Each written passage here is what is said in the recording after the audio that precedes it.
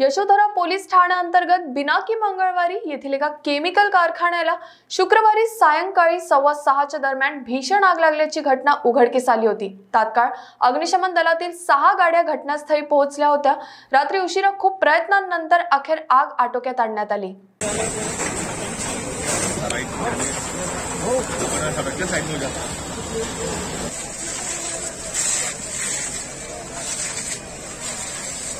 आग लागण्याची सलग चौथी घटना संध्याकाळी सव्वा सहाच्या दरम्यान यशोधरानगर ठाण्याअंतर्गत येणाऱ्या बिनाकी मंगळवारी येथील मेहंदीबाग कॉलनीजवळच्या केमिकल कारखान्यापासून सुरू झाली होती.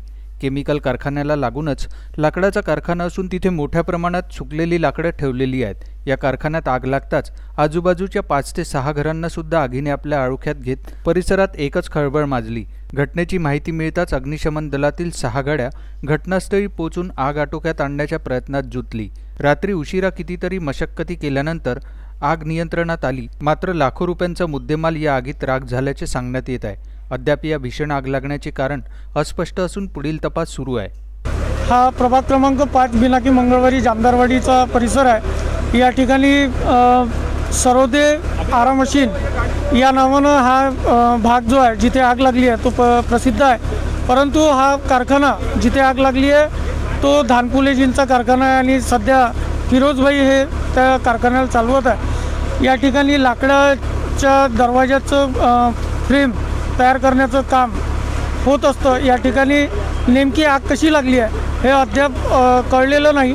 त्याचं सर्व अधिकारी शोध घेतात आहे. परंतु आग इतक्या मोठ्या प्रमाणात या ठिकाणी लागली होती.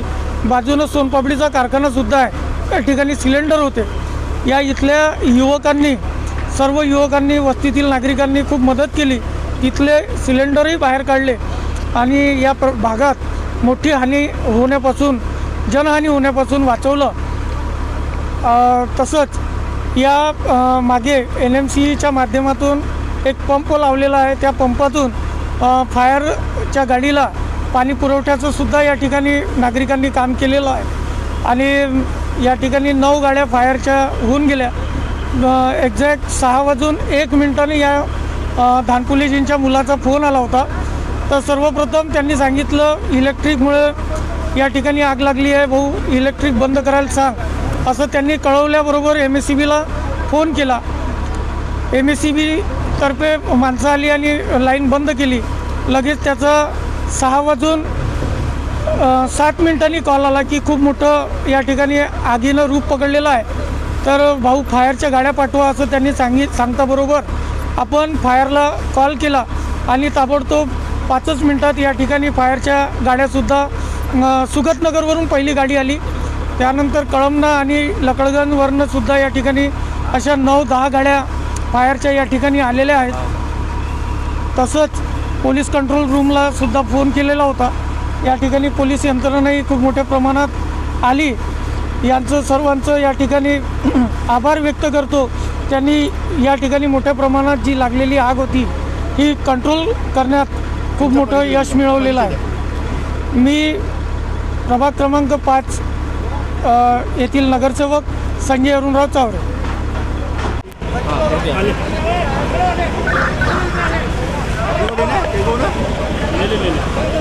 बी P चंदनकडे deputy chief fire officer N M C fire and emergency service Nagpur. हमको हमारे मेन फायर कंट्रोल रूम में अठारह चार को कॉल आया कि बिना की मंगलवारी एरिया में एक मेजर फायर लगी है। और उसमें आ, वो एक इंडस्ट्रीज़ करके है तो इसीलिए हमने तुरंत कम से कम चार से पाँच गाड़ियाँ बुलाए हैं। फ़र्स्ट टाइम हमारी सुगत नगर फायर स्टेशन की गाड़ी है वाघमारे साहब वहीं पे स्टेशन ऑफिसर है। उन्होंने उनके साथ स्टेशन के एम्प्लॉय को साथ में लाया और जब आए जब फायर फाइटिंग उन्होंने चालू किया तो तब उन्होंने बताया कि मेजर फायर है। बहुत सारे गाड़ियाँ होना करके तो उस पीरियड में हमने चार से पाँच स्टेशन की कम से कम सात से आठ गाड़ियाँ हमने बुलाए फायर फाइटिंग अरेंजमेंट कंटिन्यू चालू है और फायर भी बुझ अपना कंट्रोल में है पूरी तरह से बुझने के लिए कम से कम एक घंटा लगेगा और हम जब तक बुझेंगे नहीं तब तक हम कंटिन्यू रहेंगे जान हानि? नहीं अभी जान किसी की भी नहीं गई है लेकिन जो कुछ प्रॉपर्टी का लॉस हुआ है हम फायर बुझने के बाद वो इन्वेस्टिगेशन का पार्ट है। आ, कि कितना लॉस हुआ है प्लस वो कैसी लगी है ये भी इन्वेस्टिगेशन का पार्ट है वो भी हम देखेंगे आग बुझने के बाद।